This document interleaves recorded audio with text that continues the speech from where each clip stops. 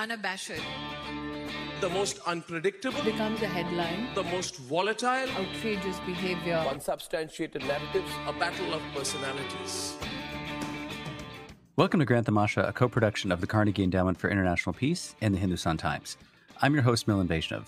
These days, the world of Indian politics and policy appears to be moving at warp speed, even by Indian standards. To make sense of all of the latest developments, I am pleased to welcome back our Grand Tamasha podcast regular, Sadanand Dhume of AEI and the Wall Street Journal, and Tanvi Madan of the Brookings Institutions. Sadanand, Tanvi, welcome back. Good to be back. It is great to be back, Milan. So, this week on the show, we are going to discuss three topics. First, we'll look at the latest drama coming out of the Indian National Congress and discuss the race to take over India's grand old party. Next, we will turn to External Affairs Minister S. Jaishankar's lengthy visit to the United States. We'll discuss the key takeaways and controversies from his trip. And last but not least, we are seeing uh, creeping warning signs of religious polarization of all kinds uh, within the Indian diaspora, stretching from Canada to the UK to the US. We'll talk about what it all means. But let us start first with the latest from the Congress Party. Uh, for the first time in many years, we will have an open contest to decide who will become the next Congress Party president. In the end, there are only two candidates. In one corner, we have Lok Sabha MP from Kerala, noted author Shashi Tharoor. And in the other, we have veteran Congress politician from Karnataka, Mallikarjun Kharge. Uh, Sadanand, let me, let me start with you. Tell us about who these two candidates are and who do you think is likely to emerge victorious when the party actually goes to vote on the 17th of October? So, very quickly, um, Shashi Tharoor is probably the candidate who is better known to many people outside India. He was a, he's an author. He's a former diplomat. Uh, worked at the UN for many years before returning to India and joining electoral politics. Um, at this point, he's a three-time MP from the southern state of Kerala, from Thiruvananthapuram, and uh, he's known for his extensive vocabulary and he's um, uh, urbane, uh, witty, and so on. Now, so he is one candidate, and the other Kharge is really one of those figures who wasn't that well known until uh, relatively recently, until the past past few years. He made his, he he was in active in Karnataka politics. Uh, he was for many many years in the state assembly. He made his way up in the state assembly. He won many many elections over the course of something like 30 years uh, before moving to the to the to the to the Lok Sabha. Uh, he's a Congress loyalist, he, which means that he is uh, known to be very loyal to the Nehru Gandhi dynasty. In fact, one of the little known facts about him is that he has five children, and three of them are named after members of the Nehru Gandhi uh, Gandhi dynasty. And so many people are framing this as a contest between the family's person, which would be Kharge, and the flamboyant outsider who thinks he has a shot, which would be Tharoor. And the prediction uh, is uh, fairly obviously that uh, Kharge will win and Tharoor will lose precisely because Kharge is seen to be have, have the blessings of the family. Uh, Sadan, can I just press you on this a little bit? I mean, do you think there's any uncertainty in this contest, or do you think it's a kind of open and shut case? I don't think there's any uncertainty. Um, I will come back to Grand Tamasha and eat my hat should I be proven wrong. uh, uh Tanvi, let, let me uh, turn to you. This election uh, for the Congress Party head takes place against the backdrop of this months long yatra being led by Rahul Gandhi. It began way back on September 7th uh, in the southernmost tip of Tamil Nadu. It's going to cover something like 12 states and 3,500 kilometers, give or take. It'll eventually wrap up uh, in Jammu and Kashmir. Uh, what is the political significance, if any, of this endeavor that Rahul Gandhi is undertaking? I mean, I think it's too soon to tell its significance, right? Because at the end of the day, what we're gonna we're gonna see whether it's significant or not if it, especially, it doesn't just change the narrative, but it doesn't have any electoral effect at the end of the day, which is essentially kind of the Congress's problem at the moment. Having said that, I mean, it has clearly garnered some attention, including from the BJP, uh, which obviously seems to be spending some time uh, dismissing it. So obviously they think at least it is of it is noteworthy, um, but then they're also good at try, kind of trying to nip things in the bud sooner rather than later. Um, I mean, on the positive side, this is Rahul Gandhi spending time in the country, going across it, spending 150 days, which, you know, um, will maybe kind of, you know, help take on that criticism that he spends a lot of time abroad and, and takes off at, at key moments. Um, so I think, you know, this engaging in good old fashioned re- retail politics is good. He's going to different states. Um, it might generate some enthusiasm amongst party. Um, having said that, you know, there, there are some questions about it, including specifically about the itinerary of and planning around the, the yatra. Um, you know, um, s- several days in many states, but then only kind of, I think it's four or five in Uttar Pradesh, um, which is odd given its electoral significance uh, and the fact that it, it sends the maximum number of MPs to uh, the Lok Sabha. Um, and so, you know, that's an interesting choice. Um, and I kind of haven't really heard an explanation as to why. Um, but it also, the other questions are, you know, how is this connected to everything else that's going on, whether it's the Congress party election? So, you know, it goes to something Sadanand mentioned, which is, you know, if, if there is going to be an election with the Congress leader, then you have this other kind of yatra going on where you're saying, no, but really it is the family that is leading the party. And how's that connected? Is this going to resolve any of the problems that Congress has in terms of organization or helping the opposition uh, parties coalesce together? And I don't quite see that yet. So I think the question is this is fine in and of itself. It's good that they're raising kind of their issues and maybe generating enthusiasm. Um, but there are also questions about how it's related to kind of the broader goal of winning elections. You know, Sadanand, I want to go back to something that you uh, said on Twitter. You, in fact, had an entire Twitter thread I thought was was very interesting. But it began with the following statement, which is, "quote People may wish Congress was not a family concern, but more than 50 years after Indira Gandhi split the party, it has no other viable identity or organizing principle."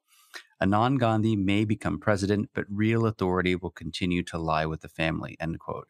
Um, why is it still, after all these years, impossible to imagine a Congress that does not have the family front and center? You know, I think one of the mistakes people make is that they think of the Congress like it's a normal political party, right? They sort of liken it to, say, Labor or the Tories or the Christian Democrats, or uh, and sort of take your pick of a, you know, a normal functioning political party in the West. Um, you know, I think of it more as a little bit of, um, you know, I'm going to sort of it's it's it's it's it's the analogy is less wild than it uh, than it sounds at first blush, but I think of them more a bit like the Kardashians. It's an entertainment franchise that happens to be in politics. This particular franchise is connected to the family. It has been connected to the family ever since Indira Gandhi split the party in 1969. In fact, Congress used to be known for many years as Congress I, where I stood for Indira and when you talk to people who've been in Congress for many years, just the way they talk about members of the family, right? So, like, oh, well, why do you think Priyanka might have a future in Congress? Because haven't you seen when she sh- turns her head and looks to the left, she looks so much like her grandmother? I mean, this is just how these people speak. Uh, this is how they think. Uh, it's not a surprise that they have uh, not had a powerful non Gandhi president in 50 years, except, you know, briefly uh, Narasimha Rao was president, and he and he and he struggled. So we just have to accept the fact that this is the nature of this particular party. And as long as you have members of the family who are in active politics, that is where authority and power will naturally flow in the party, right? So, I mean, you mean to sort of come back to my Kardashian analogy. I mean, you may be somebody else, right, who sort of thinks that they have all the qualities it takes to be a, a great reality show contestant in that franchise but as long as there's someone from the family around, it's just very hard to take that mantle. So for Shashi Tharoor, I think the problem is that he is, uh, you know, the right man in the wrong party. Uh, Tanvi, you want to come in on this? Yeah, I just, you know, something Sadan said, which is kind of Narasimha struggle. I actually think the from the family's perspective, maybe it was that he didn't struggle enough, that he was actually successful in some ways. Um, you know, and and that the concern always is that there'll be another Narasimha um, who is actually, you know, has kind of Eh, not kind of entirely independent, but has his own kind of stature and uh, makes people question do you really need the family? Um, and so you know sometimes who's going to win the election? Whoever perhaps the family thinks is going to be the least independent of the of the candidates and you have your answer right? And so i think you know whether it was even kind of Manmohan Singh um, who's you know stayed fairly close to the family but made independent decisions and had you know most prominently for kind of those who follow us india relations on the nuclear deal uh, where he took an you know he took a view that was different. Um, from say Sonia Gandhi's view. Uh, and so you know sometimes I think it's just a question of it's it's uh, it's not just that a, uh, somebody would, who's not a non-Gandhi will inherently struggle. It is partly that they have chosen people who are um, who are least likely uh, to be uh, kind of independent. Yeah, but the fact that they have to do the choosing is the problem, right? I mean, like I mean that, that you should be able to take power in a political party. You should be able to oppose the family and take power in a political party, particularly when that party is doing as badly as Congress has been doing. But that doesn't seem possible. A selection rather than an election. Uh, l- let me segue over to our second topic here, uh, because I think there's quite a lot to unpack. We saw External Affairs Minister Jaishankar complete a pretty long and intense visit to the United States. He made stops at the UN General Assembly in New York. He, of course, did the whole tour of official Washington as well. I just want to read out an assessment of his trip and really of the broader relationship that Prashant Jha of HT put together, and we'll, we'll, we'll link to that in the show notes. It's a, it's a rather bullish assessment. Uh, Prashant writes, Jaishankar's visit once again reaffirmed that India and the US are deeply, closely engaged in their bilateral relationship about the wider regional challenges in the Indo Pacific and about the state of the world.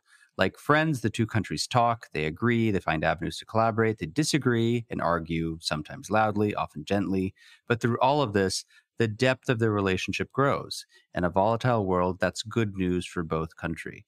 Um, Tanvi, I was struck not just by this assessment, but a lot like this one, which were very upbeat in tone, uh, despite the fact that uh, you know, it wasn't always all uh, sunshine and light uh, uh, uh in, in the meetings. Tell us a little bit about what you think this this visit uh, means. You're clearly reading different articles and have not been on Twitter enough because all I've been seeing is kind of people declaring yet another time that the U.S.-India relation is about to die. Um, I think you know the, the, the, the, there's different aspects of this, which you know I think Prashant's article alludes to, which is I don't think there's any doubt the US India relationship is closer today um, than it has ever been uh, before. Uh, and you see this reflected in just what's happening in the this week, uh, forget kind of, you know, in even two weeks. Uh, and, you know, you have um, National Security Council Indo Pacific coordinator Kurt Campbell in India with a, a, a pretty kind of hefty team um, uh, there for discussions of all sorts. You have uh, um, even kind of less heard of, but uh, I noticed it today. The Customs and Border Patrol and Homeland Security folks in India to talk to their colleagues about supply chain security issues and cargo security. Uh, you have, um, uh, you know, Petroleum and Natural Gas Minister Hardeep Puri here in the U.S. Uh, this week. Um, you have uh, India and the US about to kind of embark on the 60th anniversary of the Sino Indian War, a military exercise between their armies, which is, you know, what, 100 kilometers from the China India border. Um, and, and, you know, you have um, a congressional, uh, a, a, congressional staff delegation, right, you know, just today. Um, being welcomed onto the INS Vikrant, India's kind of aircraft carrier. And to those who um, follow U.S. India relations and the history of that. Aircraft carriers have a special significance given. Uh, you know, people often invoke the USS Enterprise and uh, and that as a sign of you know U.S. perfidy and uh, being anti-India and supporting Pakistan. So it's always kind of these moments are kind of interesting in that regard. Um, and so I don't. Th- I think you know these things aren't happening because uh, they're happening because both sides see a mutually beneficial relationship and not just a deep relationship, but a broad relationship. Having said that, I don't think there's any kind of getting around the fact that they, you know, they are. Uh, the, there's convergence on key issues. Uh, the countries are like-minded, but they're not same-minded on it, on everything. And you see this particularly um, and this was something that, you know, I noticed even historically when I looked at moments of US India convergence and kind of what went wrong. And sometimes it was just differences about their other partnerships. So what we've seen in the last kind of six months or so is, you know, India's partnership with Russia creating some friction. And more recently, you know, in the last couple of weeks, uh, the U.S. kind of trying to kind of reestablish or some normalize some sort of relationship with Pakistan uh, is is a problem for India. Um, and so I do think these partnerships have thrown up some di- divergences, some differences, and the uh, uh, question is, you know, how do the countries manage these differences? And usually, what history tells us is if the kind of strategic convergence in this case in the Indo-Pacific and on China is strong enough, they will make an active effort to manage or downplay these differences. Uh, that doesn't mean they go away, so they can come up at any time. But I do think that it means kind of trying to think about you know sensitivities of other countries. At the end of the day, the U.S. is going to do what's in its interest. India will do the same. But you know, having kind of simple processes like no surprises uh, make sure you actually you know engage on these issues uh, before you know people are yelling and screaming and then strategic communications about these issues so it's not people on twitter that are setting uh, setting the communications around this you know and Tanvi uh, came back to the point of differences and there were several notes of dissonance during this visit there was a public forum in which the external affairs minister, you know, once again dismissed the U.S. and foreign media essentially for peddling fake news about uh, India's domestic developments. Uh, both Jaishankar and Blinken raised concerns about the quality of the other country's democracy in their joint press conference. Do these dissonant notes, particularly on the Democratic front, do they add up to much in the final analysis? Well, it just depends on how you define final. Uh, do they add up to a lot right now? I don't think they do. Um, I think sort of if you going back to Tanvi's response, um, it's very clear that the U.S. and India have a deep relationship. It's very clear that they're cooperating um, across the board on many many issues, and it seems that at least so far they have managed to thread the differences they have, uh, most notably on Russia, uh, and they both seem to be um, primarily focused, or they're able to keep the relationship to a large extent focused on their common interest in the Indo-Pacific. So I don't think that um, the sort of what you're seeing in India in terms of the erosion of Indian liberal democracy, uh, whether it's attacks on civil society, attacks on the media, uh, the the fact that the opposition is in disarray and in many ways, as you've written about, Milan, does not really have a level playing field. I don't think any of these are going to um, get in the way of um, the, the grand strategic convergence between the US and India for now. Um, the question really is what are the long term implications? And there, I think that the worry, or what should be a worry from an Indian perspective on this, would be that to what degree can we see the kind of deterioration we've seen before it begins to matter? And would all other things being equal, would it be better if India's d- democracy was also in robust health? Um, I would argue that it clearly would be, and it's in take sort of it's it's overly cynical to to point to the fact that the relationship is doing well despite some of these dem- problems with democracy, and then sort of to conclude from that that the problems with democracy uh, don't matter at all. Um, they do matter. Things would be, be better, but I think that those of us who are concerned about these democratic issues and write about them a lot have to acknowledge that in the end, at least at this moment in time, um, our particular concerns are not being reflected uh, in in in in a particularly dramatic way. Tanvi? Uh, just kind of s- somewhat tongue in cheek on a kind of serious issue, but I, I do think next time Secretary of State Blinken is in India, he should complain uh, about the Indian media and social media's representation of the US, given its general tenor, which is negative. So, you know, there's a pitch for a policy recommendation since uh, since uh, we, we this has become a diplomatic issue now. Uh, uh, you, you mentioned Russia Ukraine, um, and we saw something that garnered quite a lot of press attention on the sidelines of the SCO gathering. Uh, Prime Minister Modi told the Russian president that we don't live in a quote era of war. In some of his most pointed public remarks to date about the Russian invasion, this line, as you know, got a lot of attention in the global press. Uh, some cynics have basically said there's really nothing new in what Modi said or remarkable.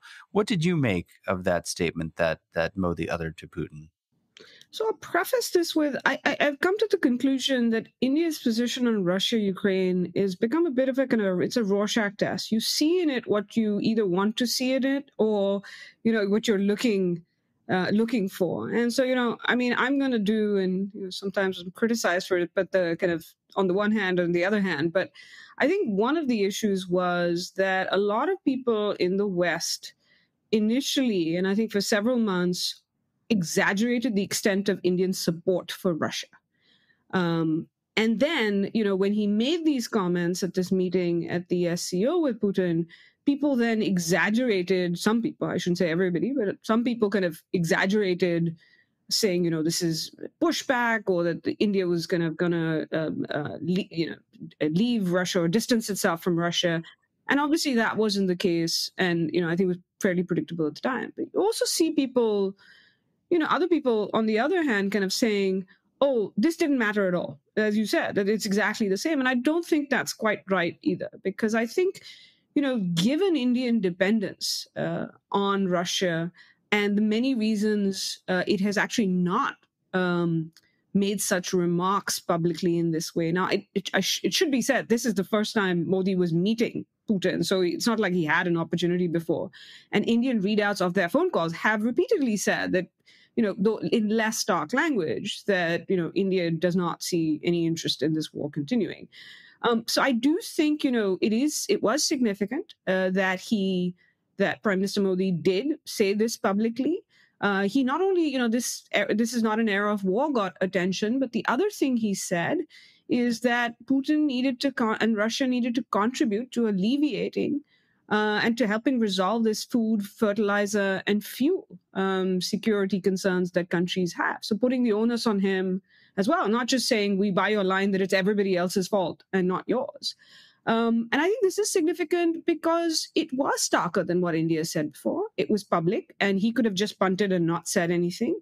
Um, it was also kind of clear from Putin's remarks that he said, you know, you've been telling me this for a while. Uh, this wasn't the first time.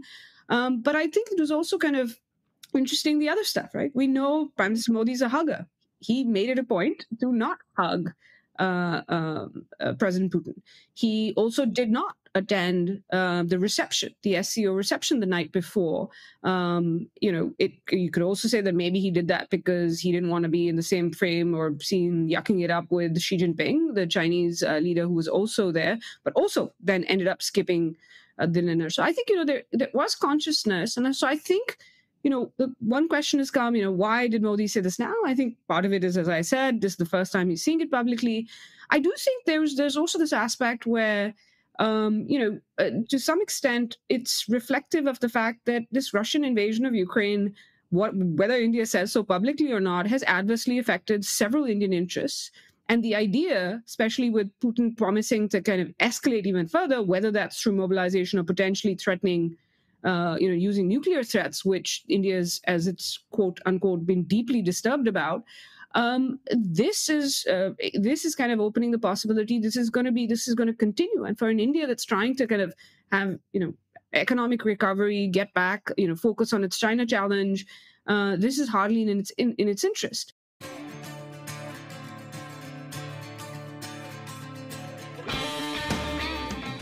Hey, Grand Tamasha listeners. Thanks for listening to the podcast. Putting this show together each week is a labor of love, but it takes a lot of work to put out a great show every week.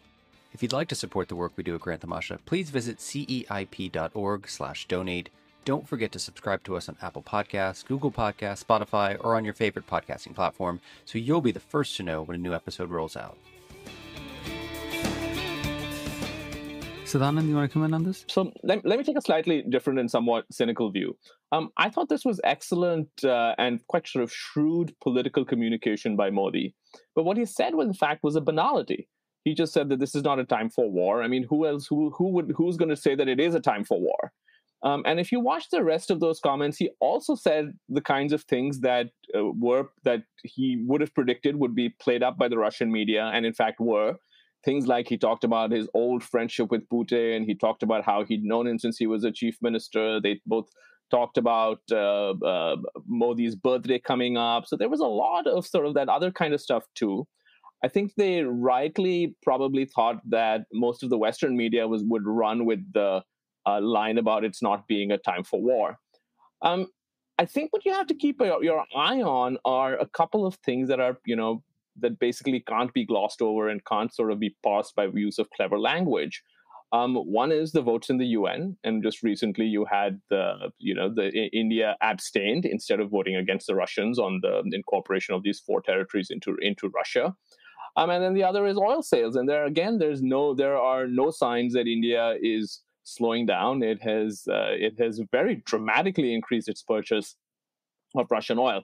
Now, I'm saying both of these are justifiable from an Indian perspective, um, but I think that those are really the concrete things that can't be fudged with by using language. And so I'd, I'd say that's what I'd keep my eye on. I don't think you know. I don't think it's about fudging it, right? I think they're the the fact is that they're competing imperatives. Uh, and sure, uh, did did the kind of use of language give uh, was it partly because I think India is also recognizing it isn't a cost-free approach to just you know upset all your partners that you're actually closest to and are doing something for you strategically and economically uh, in ways that Russia can't or won't? Uh, absolutely. So I do think it was a message.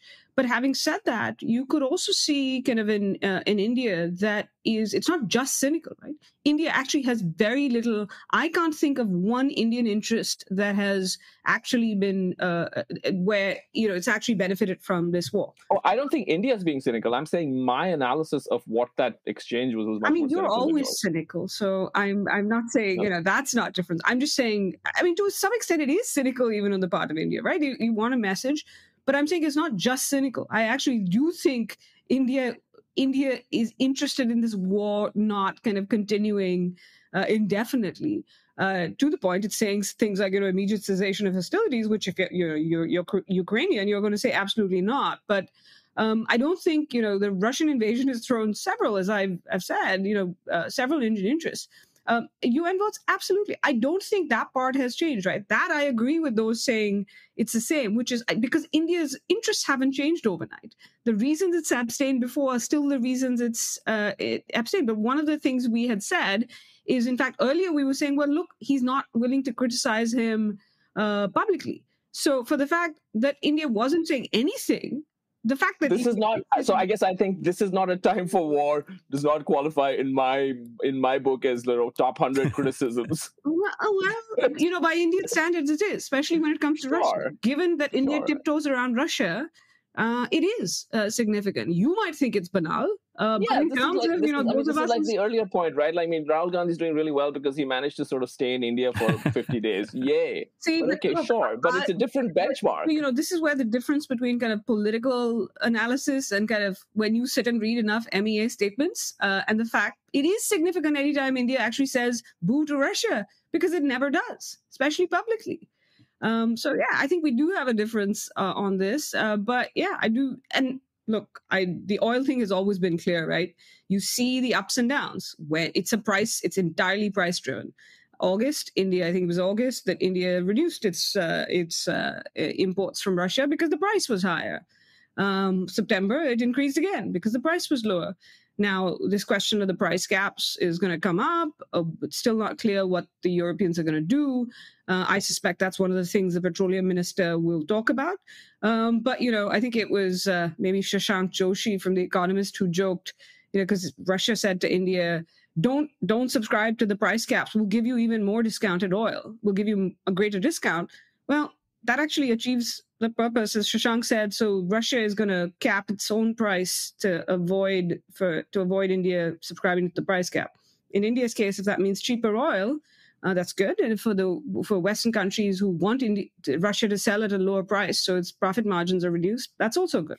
So, so let us agree to disagree on this point, uh, uh but, but perhaps there's more disagreement coming up. Let, let's talk a little bit about our third and last topic, which is the Indian diaspora uh, last month we saw pretty worrying, I think, communal clashes between uh, Hindus and Muslims uh, in the city of Leicester in the United Kingdom. Uh, the origins of this violence still remain somewhat murky. We know that there were Hindu groups marching through a Muslim dominated part of Leicester, chanting religious slogans.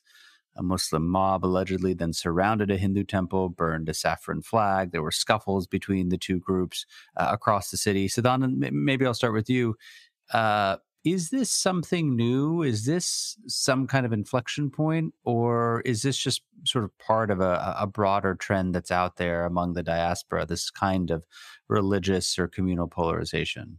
I think it's new in terms of its severity, right? I mean, you have had clashes in the diaspora earlier. You can always sort of go back to the 90s, for example, or the late 80s when Hindutva was rising in India, or go back even farther to the 1971 India Pakistan War and the way that played out among um, immigrant families in, in, in the UK. So there have been tensions before. But what you've seen now in the era of social media is something quite uh, dramatically different in terms of scale you have large mobs gathering on the streets of Leicester. Uh, you have these identity entrepreneurs on either side stoking uh, stoking uh, calls for retaliation with some pretty incendiary rhetoric. Uh, you have the fact that the middle ground has really disappeared, and if anyone tries to point out that look, there were probably provocateurs on both sides, um, there's very little room for that message because what each side is trying to do is sort of look for a story that confirms that they are completely in the right and the other side is completely in the wrong. So a lot of that has happened, and I think a lot of that has, as as, as many commentators have pointed out, a lot of this is um, the politics of uh, India being exported to the diaspora, which is inevitable. It is natural. We saw some of that in the U.S. You know, I remember. I think we we we we may have spoken about it on Grand Tamasha, uh, where you had a section of the community that was quite upset with uh, Kamala Harris's position on Kashmir, for instance. That became a big thing in India, and then again re- reverberated back with the diaspora. So I think that the the the distance between domestic politics and the politics of the diaspora has shrunk dramatically. I think that's that's that's fairly obvious, and to the degree that the politics in India has become more fraught, particularly on these identity and religious issues, uh, we're going to see this natural fallout. Um, hopefully, it won't always be um, as fraught or as bad as what we've seen in Leicester. But I think that the broad trend that Leicester represents uh, is with us to stay. Uh, Sadanand, you talked about the importance of identity entrepreneurs. I, I, just wanted to point out there was a kind of an interesting social media analysis which looked at sort of thousands of tweets which had kind of geotagged information associated with certain hashtags that went viral during this.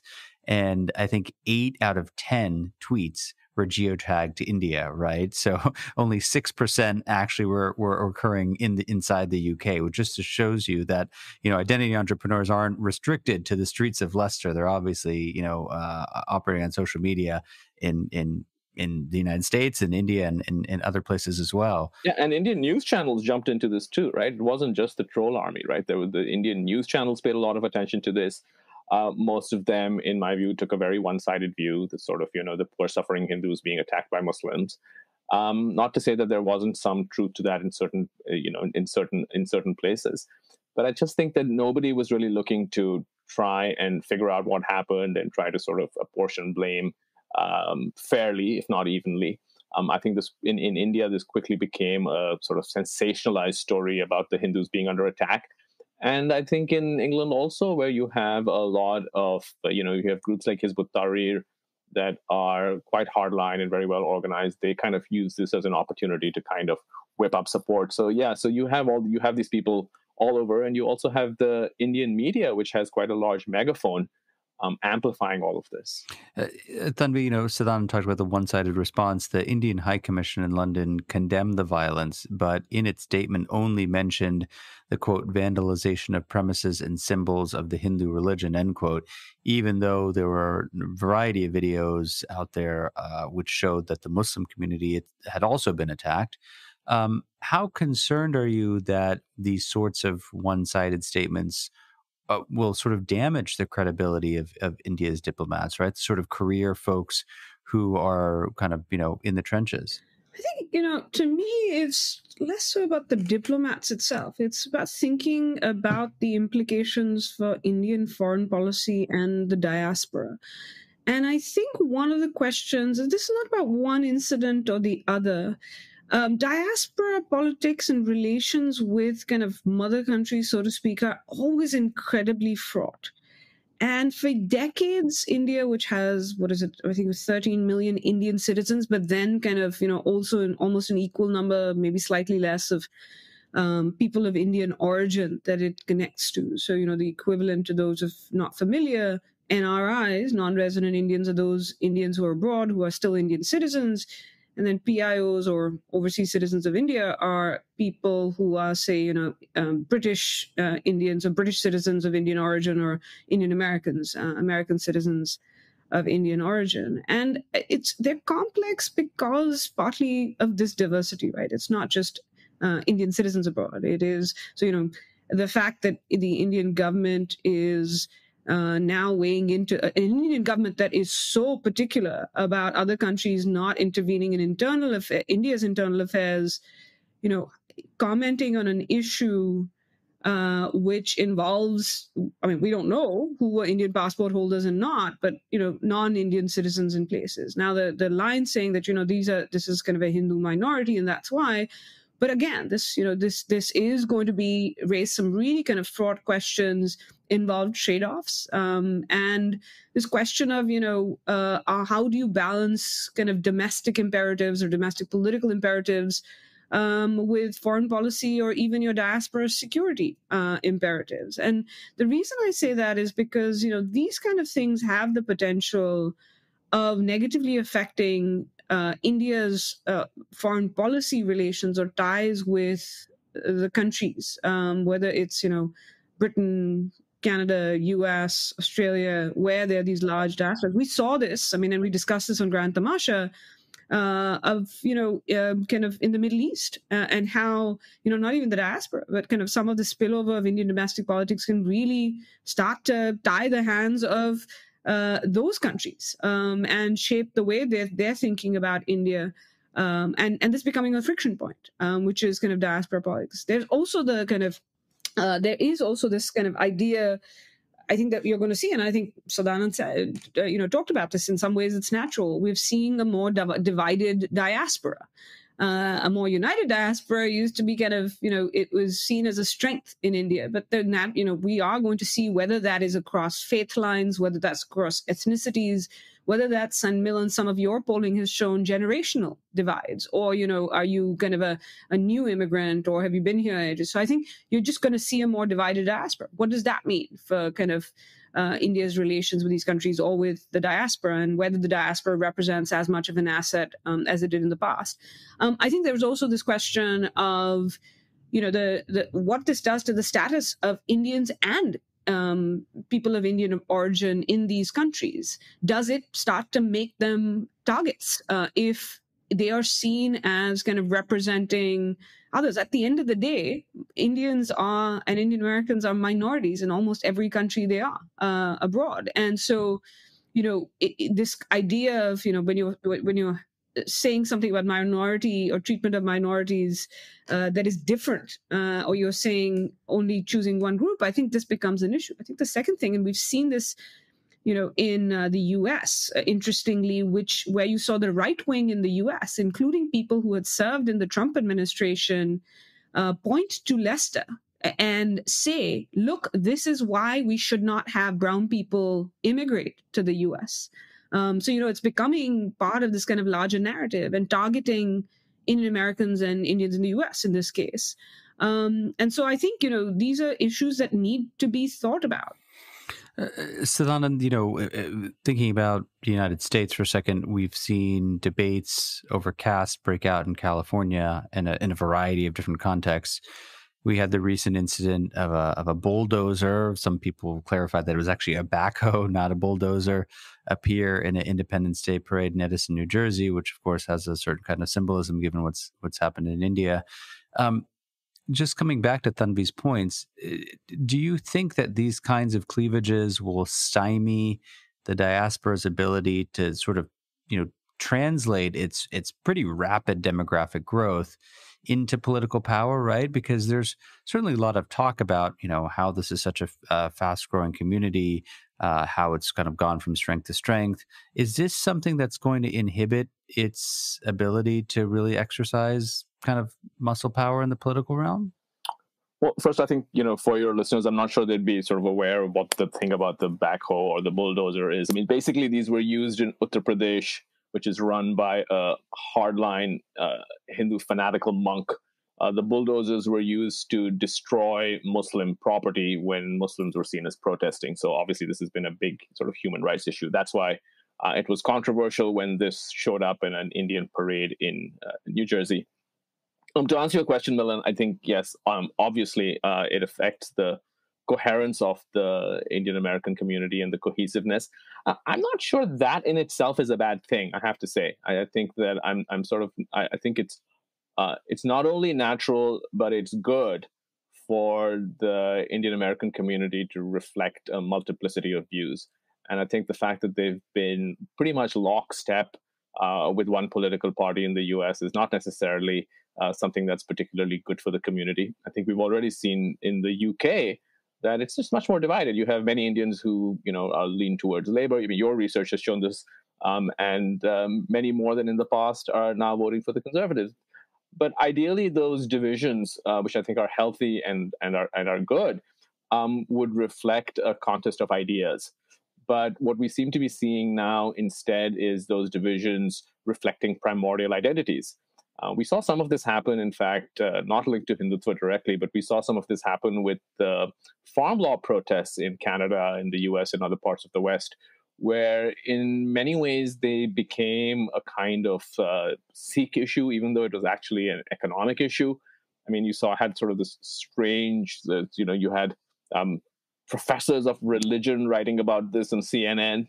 Um, the whole thing was sort of, you know, filtered, began to be filtered through the prism of this kind of identitarian uh, mobilization. So we've, we've, we've, it's been happening for a while. Um, it's going to intensify because you know, coming back to the sort of earlier question, what's what's what's happening is that Indian politics itself is kind of being organized uh, increasingly on, along those lines. The old liberal consensus is uh, has basically um, uh, on on its last legs, in my view, and that's how it's going to play out. So I would say that uh, I know ideally we would have many more and interesting debates. I mean, in, among the diaspora about what should be the sort of Indian view, for example, the Indian American view of pick an issue, say affirmative action. You can have a really interesting debate. Um, but unfortunately, it looks like uh, the spillover from India means that the kinds of debates people are going to have, at least for now, or seem to be having, are much more based on what you know, uh, what people's caste is, or what their religion is, or where they stand on um, on on religious politics, which is unfortunate.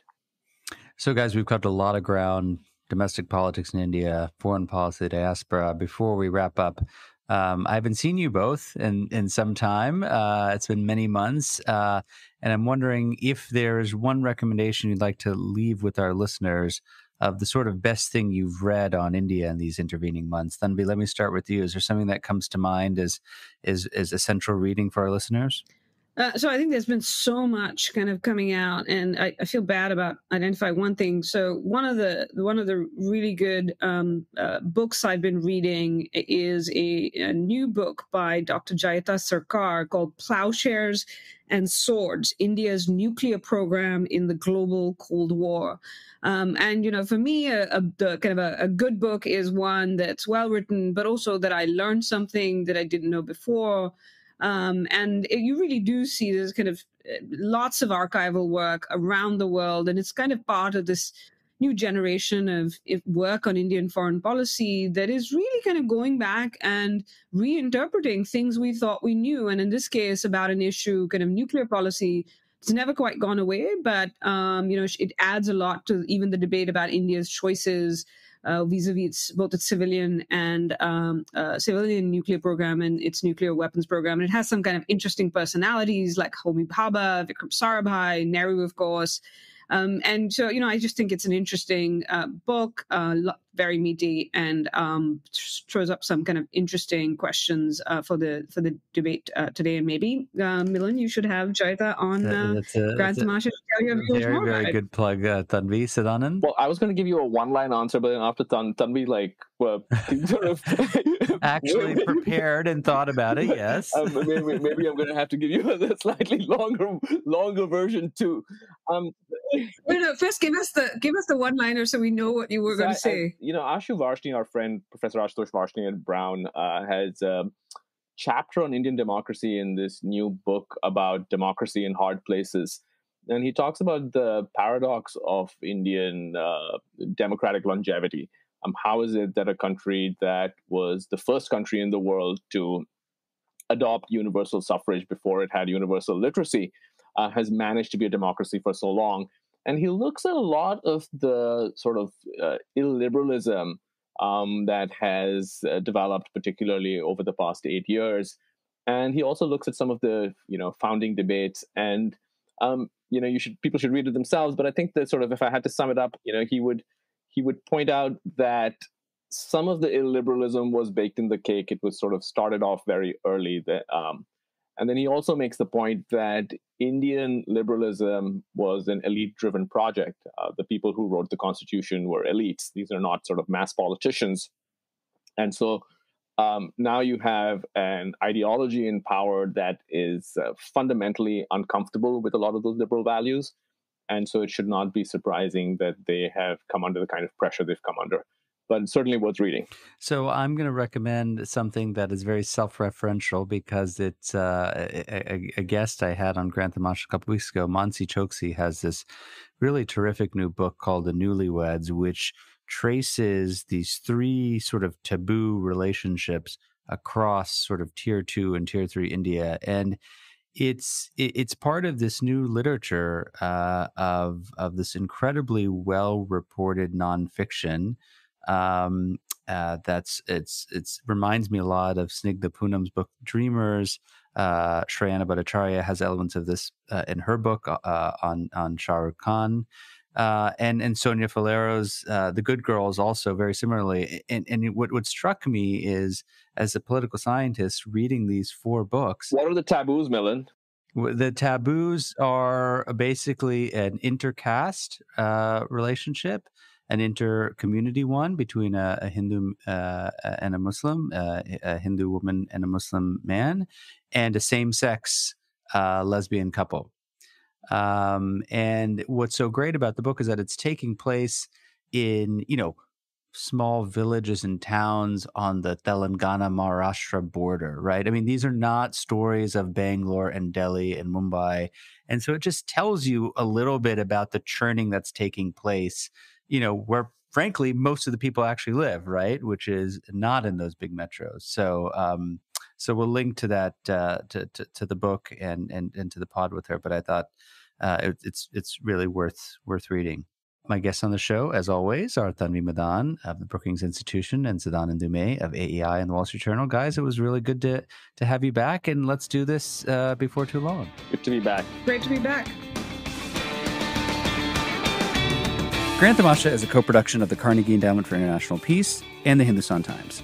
You can find us on Apple Podcasts, Google Podcasts, Spotify, or wherever you download your podcasts. Be sure to subscribe and leave a review to help others find the show. Tim Martin is our audio engineer, and Cliff Jayapranada is our executive producer. Production assistance comes from Nithya Love. Thanks for listening, and see you next week.